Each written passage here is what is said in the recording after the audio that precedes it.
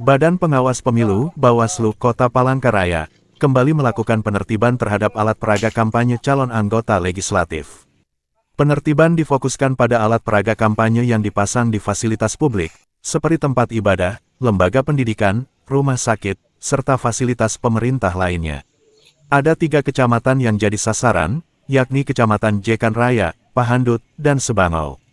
Penertiban ini juga melibatkan beberapa instansi terkait, seperti pihak kepolisian, Dinas Perhubungan, Satpol PP, Dinas Lingkungan Hidup, Panwaslu Kecamatan, dan PKD. Nah, jadi yang kita tertibkan pada hari ini, ini juga sudah kita sampaikan setimbawan kepada peserta pemilu partai politik uh, tiga hari sebelumnya. Jadi kita meminta agar peserta pemilu bisa menentukan secara mandiri di di mana alat peraga kampanye yang dipasang di tempat-tempat terlarang itu bisa mereka tertibkan secara mandiri. Nah sampai hari ini kita sudah lakukan penertiban dan kita menetapkan di beberapa titik pertama di tempat-tempat rumah ibadah kemudian juga di fasilitas pendidikan kemudian juga di fasilitas pemerintah termasuk uh, di fasilitas kesehatan.